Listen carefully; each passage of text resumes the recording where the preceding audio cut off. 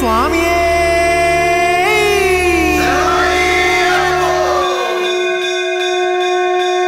എന്റെ മാതാവിനെ അനുഗ്രഹിച്ചയച്ചതാണ്.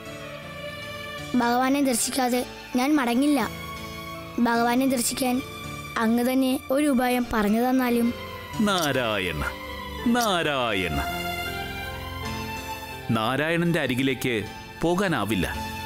നാരായണൻ നിന്റെ അരികിലേക്ക് വരണം. അതേ ഉള്ളൂ ഒരു ഉപായം.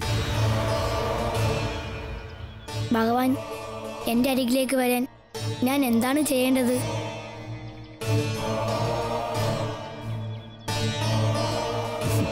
തപസ് അനുഷ്ഠിക്കേ നിർവാഹമുള്ളൂ. തപസ് അനുഷ്ഠിക്കാനോ എങ്കിലേ ഭഗവാൻ പ്രത്യക്ഷനാകൂ. അതികഠിനമായ തപസ് അനുഷ്ഠിക്കാൻ മുതിർന്നവർക്ക് പോലും സാധ്യമല്ലെന്നിരിക്കെ. ബാലകനായ നിനക്കെങ്ങനെ അത് സാധ്യമാകും? കൊട്ടാരത്തിലേക്ക് മടങ്ങൂ ധ്രുവ. ഞാൻ കഠിന തപസ് അനുഷ്ഠിക്കുക തന്നെ ചെയ്യും. എവിടെ തപസ് ചെയ്യണമെന്ന് അങ്ങ് തന്നെ പറഞ്ഞു തന്നാലും?